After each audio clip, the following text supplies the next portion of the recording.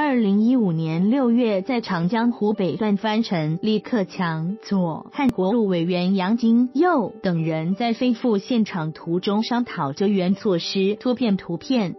中共十八大一中全会就跻身党汉国家领导人的杨金，日前受到港媒青睐，称其有望继续策马扬鞭，在十九大上更上层楼。香港《明报》十月一日的报道认为，早在一九九三年就与中共总理李克强有交集的现任国务院秘书长杨金被看好，是由于中央书记处书记室。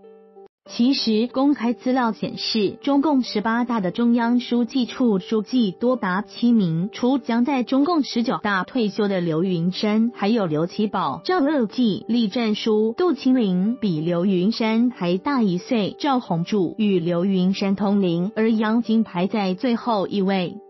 在中共官方的党汉国家领导人名单上，中央书记处书记排名在政治局委员之后，但在全国人大常委会副委员长和国务委员之前。而事实上，中共十七大的六名中央书记处书记中，除了习近平，仅有刘云山在中宣部长职位上入常。明报在报道中强调其与李克强的关系，并就其仕途的职位做了介绍，认为其加上地方、中央和党政经验兼备，因而有望十九大高升。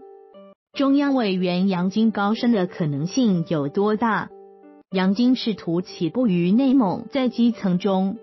共共青团组织中担任过书记，一九九一年进入省级官场，在内蒙统计局、旅游局等部门出任副局长、局长。此后担任过共青团内蒙古自治区委书记，一九九八年跻身副部级，并在当年升任正部级内蒙主席。二零零八年进京出任中共国家民委主任、统战部副部长，在成为中央书记处书记之后，又在二零一三。三年三月，以中共中央书记处书记的身份兼任中共国务院秘书长。杨晶目前是中共中央委员，而上届入场的刘云山是政治局委员。明报指，中共国务院秘书长作为总理李克强的助手，负责国务院的日常事务，这一职位通常由中共国务委员兼任。这一说法案是杨金获得重任。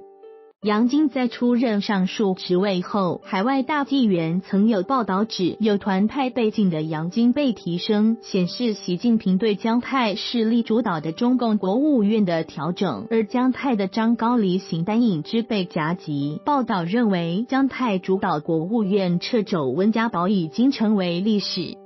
二零一六年二月，有只有江派背景的民进网发独家消息称，杨金可能被黄奇帆替代，而杨金或将出任天津市委书记。但直到目前，杨金仍旧在现有职位上，而黄奇帆被贬到人大。不过，二零零五年七月八日，内蒙古新丰电厂项目违规建设，造成汽轮机主厂房球形网架中的九百六十八平方米坍塌，发生了六人死亡、八人受伤的重大施工事故。时任内蒙主席的杨晶因负有领导责任，曾作出书面检查，一度影响杨晶的政绩。